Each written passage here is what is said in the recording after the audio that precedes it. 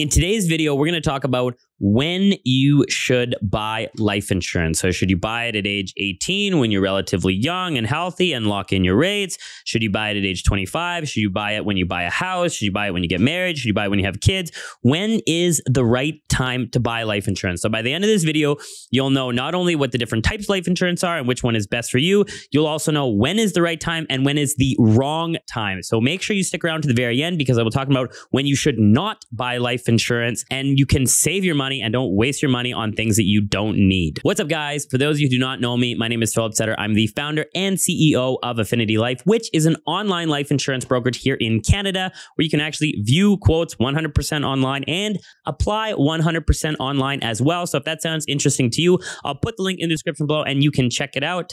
But without further ado, let's get right into the video. Okay, before we get into when you should buy life insurance, let's just go through some quick basics just so we understand that we're on the same playing field. Okay, so Basic number one term versus permanent. Term life insurance is the easiest type of life insurance to understand. It's the most inexpensive option. You're buying it for a specific period of time. So you can pick a different term. You can pick a term 10, a term 20, or a term 30, and that's going to last for the duration of that term, obviously. This type of life insurance is meant to cover you for a specific period of time. And in my opinion, is the best type of life insurance for the vast majority of Canadians because, well, when you need life insurance, you just want to cover it for a specific period of time.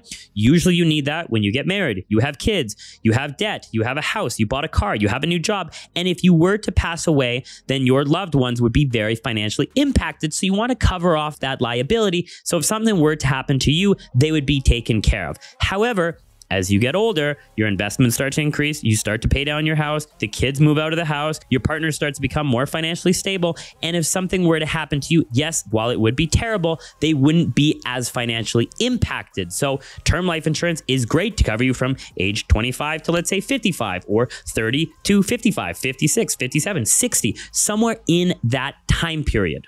Permanent life insurance, on the other hand, is now not a what if, it's a when. Permanent life insurance is meant to cover you all the way until the very end. So it's something that's guaranteed. It's going to pay out, whether that be at age 40, 50, 60, uh, 80, 100. It doesn't matter. It will pay out. Now, this type of life insurance is meant for leaving something behind for the next generation, such as your children or your grandchildren, or leaving something behind to a charity, or maybe you have a disabled child that you want to make sure is taken care of for the rest of their entire life. It's also used for estate planning. So if you knew you had taxes upon death and you wanted to take care of that, that's a really important feature of permanent life insurance. And the third reason for permanent life insurance, which I'm sure you've heard of before, is investing in life insurance. Now, I have very strong opinions about this. I'm not going to get into it in this video. If you guys are interested in my opinion about investing in life insurance and comparing it apples to apples to do a traditional RRSP, drop a comment below and I will send that video to you. Okay, so again, just going back, the purpose of life insurance is if you have loved ones in your life and something were to happen to you, would they be financially impacted? That's a really easy question to ask. And if the answer is yes, you need life insurance. That's a very easy general rule of thumb. So let's talk about a few reasons when you should get life insurance and when is the right time to get life insurance. Number one reason is you're about to get married or you are now married. You're getting married, you're about to get married something like that. Well, at this point, now you're essentially bringing the two lives together. So before you were just on your own, if something happened to you and you had a bunch of outstanding debt and something else, that would just get washed up into your own estate and it wouldn't affect your partner because, well, you know, they're not part of your legal situation. However, when you get married or common law, now you're bringing your lives together and you need to think about the liabilities that you're bringing into that relationship. Okay. So if you guys buy a house together and you have outstanding debt. Maybe you have a credit card. Maybe you have a line of credit. Maybe you have your car payments. If something were to happen to you, well, at that point, now your partner is going to need to take care of those debts. So getting life insurance to cover that off once you get married or once you become common law partners is a really good time to consider purchasing life insurance. Number two, when to buy life insurance. This is pretty obvious, but after having children. This, in my opinion, is the number one reason why people need life insurance. Because if you have a newborn baby or you have several newborn babies, then if something were to happen to you, your spouse, your loved one would be left on their own with these children now to try and take care of them and pick up the pieces with no financial support. So if you think having kids right now is hard enough with the two of you, imagine just one of you trying to pay the bills and take care of the kids and clean the house and prepare the meals and bring them to school and do all these other things, grocery shopping, etc., etc., with zero financial support, they will be in for a very difficult time. So if you're about to have kids or you have kids already, this is a very, very, in my opinion, number one reason why you need to buy life insurance. Very important time. I would consider buying it right away if that's a scenario that you're in. Number three, you're in the process of purchasing a home and you want to leave that home to someone. Okay. So maybe you're not in a relationship with someone. However, maybe you have family members, brothers or sisters or cousins or other family members, parents, and you're in the process of buying a home. And now, okay, that's a good job. Congratulations. However, you're thinking if something were to happen to what's going to happen to this home? If one of your goals is to leave this home to someone, maybe you have siblings that live with you, maybe you have parents that live with you as well, and you wanted to leave that to them if something were to happen to you, this would be a really good time to consider purchasing life insurance. So if something did happen to you, the mortgage would be taken care of. And by the way, make sure you get life insurance and not mortgage insurance because mortgage insurance is a completely different, inferior product that may or may not pay out and it's more expensive and it's a declining benefit. So don't get mortgage insurance, get life insurance. Number four reason to consider when to purchase life insurance is you're starting a business with other partners. So here's the thing. If you're starting a business on your own, it's no problem. If you passed away, I mean, depending on how large the business is, if you had multiple other employees and you had other people that might want to take the business over, that might be a good idea. But if it's just in this process of a startup, it's not very big. And if you passed away, the business would essentially dissolve.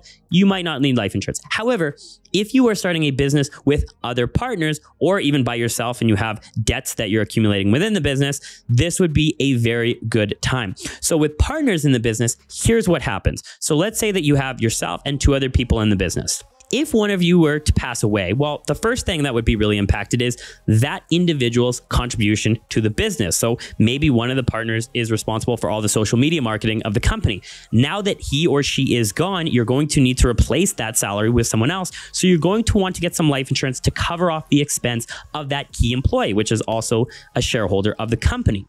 The other reason that you're going to want to purchase life insurance on all the lives of the partners within that business, if one of them were to die, the way that it works is essentially those shares would then go to essentially the next of kin of that individual. So that could be their partner, that could be their spouse, that could be their parents. And here's the thing you got into business with that individual, not with their husband, not with their wife, not with their parents. So you're going to want to make sure that you have a mechanism within the corporation that there is life insurance on all the lives of the partners. And if one of them were to pass away, the corporation will then have funds available to buy those shares from the deceased estate. And the two other surviving partners can continue on with operations of the business. The deceased estate can then, you know, collect that life insurance and, you know, use it for whatever be it. But they are selling those shares to the other two shareholders and they are continuing on with the business. And I've seen situations where this wasn't structured properly and all of a sudden the other party decided the surviving partner, the surviving husband or wife decided that, you know what, I actually don't want to sell the shares. I want to come into the business and there's nothing they could have done. There was no shareholders agreement. There was no life insurance to fund it. And so now they're in business with this person and they did not want to be in business with this person. So if you're starting a business with partners, get life insurance. And number five reason consider getting life insurance is if and I talked about it a little bit before, but I didn't get into it, is that investment component of an insurance policy. If you're the minority of Canadians and you're in a very high income environment and you have all of the other traditional strategies max, such as your RSP and your TFSA, and you're not carrying any credit card debt or lines of credit, you don't have any high interest debt that's outstanding, then maybe a good time to consider purchasing life insurance as an investment strategy. You have excess cash and you're looking for an alternative investment, that might be a good time time to consider buying life insurance. Again, I made another lengthy video on this. If you're interested in that, just drop a comment below and I'll send it to you. But if you're part of the minority of Canadians that don't have their RSP max, don't have their TFSA max, and are carrying high interest credit card debt, not for you. Wait until you have all of that finalized, increase your income, become one of the high income earners of Canada, then you can look at the strategy. All right, let's talk about when is not a good time to purchase life insurance. And this might be a controversial opinion for a lot of advisors and a lot of companies. However, this is what it is. This is my opinion. Number one reason why I don't think you should get life insurance or when is not the right time to get life insurance is just because you're young, just because you're healthy, and companies say lock in your rate. I was on Facebook this morning and I do a lot of searches for life insurance, obviously, because I'm researching a lot of these topics and I'm coming up with different content and different material. So I get constant ads from every single insurance company. And one of the number one ads from a large insurance company in Canada popped up and it said, you know, we're busting myths of life insurance. And here's one of them, you know, you don't need life insurance when you're young. And it's like, squash it. Yeah, you do. Get it when you're young, get it when you're healthy, lock in the rates. Here's the thing if you're healthy and you imagine that you're continuing to be healthy, you have a good diet, you have a good exercise regime, you don't have any adverse health conditions within the family, no family history of maybe diabetes or anything like that, then I would say don't get life insurance if you don't need it. You don't have to lock in the rates just because you're young. That's a marketing gimmick to sell life insurance to people who don't need it. Here's the thing we buy life insurance to protect our loved ones. If you don't have any loved ones, then you don't need life insurance. Just because you're young that doesn't mean you need to get life insurance and lock in the rates. Wait until you actually have somebody in your life that you care about. So, age isn't a contributing factor to when you need life insurance. If you're 18 years old and you're married and you have kids, you need life insurance. If you're 40 years old and you're single and no one in your life depends on you, you might not need life insurance. So just because you're young, do I think you should lock in rates while you're healthy and you're young and pay for these premiums when you don't need life insurance? No. And this is just my opinion, by the way. No, I don't think you need life insurance just to lock in the rate. If you do have some adverse health conditions in the family and you're not very healthy, maybe it would be a good idea to lock in the rates. But if you're relatively healthy, good exercise, good diet, then I would not get life insurance when you're young. I would wait until you actually need it. You actually have loved ones in your life that financially rely upon you and I would get it at that point. Number two, when not to get life insurance, and this kind of ties back into the previous one. However, I'll just go through it is no one relies upon you financially. There's nobody in your life, whether that be a spouse, a partner, children, business partners, your parents, your siblings, no one in your life financially relies upon you. And age is not a contributing factor to this. This could be at age 18, 20, 25, 40, 60, 80, 100, it doesn't matter. If nobody relies upon you financially, and if you were to pass away, it really wouldn't, not that it wouldn't matter from an emotional point of view, but from a financial point of view, it wouldn't matter, then why is there a need for life insurance? In my opinion, you don't need life insurance at this point.